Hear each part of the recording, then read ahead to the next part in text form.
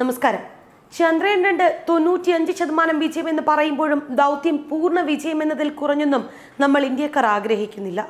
തീർത്തും അപ്രതീക്ഷിതമായി നഷ്ടപ്പെട്ട ആശയവിനിമയ സംവിധാനം വീണ്ടെടുക്കാനുള്ള ശ്രമം എത്രയും വേഗം വിജയത്തിലെത്താൻ ആശംസിച്ച് കാത്തിരിക്കുകയാണ് രാജ്യം. അവിടെയും ചിലരുണ്ട് കുരുപൊട്ടുന്ന കുറെ എണ്ണം.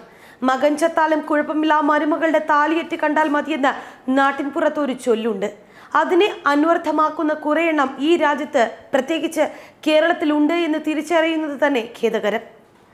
അക്കൂട്ടരെ ഏറ്റവും ദുഃഖിപ്പിക്കുന്ന വിവരമാണ് ഐ എസ് ആർ ഇന്ന് സ്ഥിരീകരിച്ചത്. വിക്രം ലാൻഡർ പൂർണമായും തകർന്നിട്ടില്ല. സോഫ്റ്റ് ലാൻഡിംഗ് വിജയകരമായി പൂർത്തിയാക്കാനായില്ല എങ്കിലും വിക്രം ലാൻഡർ തകർന്നിട്ടില്ല എന്ന് ഐ എസ് ആർ സ്ഥിരീകരിച്ചു. വിക്രം ഇറങ്ങേണ്ടിയിരുന്ന സ്ഥലത്ത് നിന്ന് അല്പം മാറി ചന്ദ്രോപരിതലത്തിൽ ചെരിഞ്ഞ് കിടക്കുകയാണെന്നാണ് ശാസ്ത്രജ്ഞർ വെളിപ്പെടുത്തുന്നത്. ഓർബിറ്ററിന്റെ ഓൺബോർഡ് ക്യാമറ അയച്ച ചിത്രങ്ങൾ അനുസരിച്ച് ആസൂത്രിതമായ സൈറ്റിന് വളരെ അടുത്താണ് ഇത് ലാൻഡ് ചെയ്തിരിക്കുന്നത്.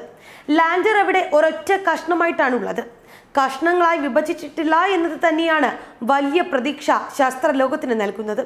ചന്ദ്രോപരിതലത്തിൽ ചന്ദ്രനിൽ നിന്ന് രണ്ട് ദശാംശം ഒരു കിലോമീറ്റർ അകലെ വെച്ചാണ് ലാൻഡറുമായുള്ള ബന്ധം നഷ്ടപ്പെട്ടത്. വാർത്താവിനിമയ സംവിധാനം പുനഃസ്ഥാപിക്കൽ കുറഞ്ഞ ദിവസത്തിനുള്ളിൽ സാധ്യമാക്കുക അതിദുഷ്കരമാണെന്നാണ് മിക്ക ഗവേഷകരും പറയുന്നത്. ലാൻഡർ കിടക്കുന്ന ഭാഗത്ത് സൂര്യപ്രകാശം ഇല്ലാത്തതിനാൽ പതിനാല് ദിവസം താപനില മൈനസ് നൂറ്റി എൺപത് ഡിഗ്രി വരെയായിരിക്കും. ഇത്രയും കൊടും തണുപ്പിൽ ഉപകരണങ്ങൾ നശിക്കാനും പ്രവർത്തനം നിലയ്ക്കാനും സാധ്യതയുമുണ്ട്. നേരത്തെ ഇറങ്ങാൻ നിശ്ചയിച്ച ദക്ഷിണ ധ്രുവത്തിലെ രണ്ട് ഗർത്തങ്ങൾക്കിടയിലുള്ള പ്രതലത്തിന്റെ അഞ്ഞൂറ് മീറ്റർ അകലെയാണ് ലാൻഡർ കിടക്കുന്നതെന്നാണ് റിപ്പോർട്ടുകൾ വ്യക്തമാക്കുന്നത്. എന്നാൽ പോലും ശരിയായ ഓറിയന്റേഷൻ ഉപയോഗിച്ച് ലാൻഡറിന് ഇപ്പോഴും ഊർജം ഉൽപ്പാദിപ്പിക്കാനും സോളാർ പാനലുകൾ ഉപയോഗിച്ച് ബാറ്ററികൾ റീചാർജ് ചെയ്യാനും കഴിയും. എന്നാൽ ഇത് ക്രമാനുഗതമായി കുറയാൻ സാധ്യതയുമുണ്ട്. ചന്ദ്രോപരിതലത്തിൽ വിക്രം ലാൻഡറിന് അടിതെറ്റാൻ കാരണം സോഫ്റ്റ് ലാൻഡിങ്ങിന്റെ പിഴവ് തന്നെയാണ്. ചന്ദ്രയാൻ രണ്ട് ഓർബിറ്ററിലെ optical high resolution camera Vikram ലാൻഡറിന്റെ ചിത്രം എടുത്തിട്ടുണ്ട്. ഇതിൽ വിക്രം ലാൻഡർ സോഫ്റ്റ് ലാൻഡിങ്ങിന് നേരത്തെ തീരുമാനിച്ചിരുന്ന നിശ്ചിത സ്ഥലത്തു നിന്ന് മാറി അഞ്ഞൂറ് മീറ്റർ അകലെയാണ് ലാൻഡ് ചെയ്തിരിക്കുന്നത്. ലാൻഡർ തലക്കീടായി വീണിരിക്കാമെന്നാണ് പ്രാഥമികമായി വിലയിരുത്തപ്പെട്ടത്. ലാൻഡർ കിടക്കുന്നത് ചെരിഞ്ഞാണെന്നും മനസ്സിലായിട്ടുണ്ട്.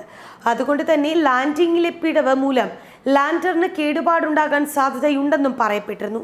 എന്തായാലും ഇത് ഒരൊറ്റ കഷ്ടമായി കിടക്കുന്നു എന്ന് പറയുന്നത് കൊണ്ട് ഇത്തരം അപാകതകളൊന്നും സംഭവിച്ചിട്ടില്ല എന്ന് പ്രതീക്ഷിക്കുന്നുമുണ്ട്. സിഗ്നൽ ലഭിക്കുന്നതാണ് മറ്റൊരു ആശങ്കയ്ക്ക് കാരണം.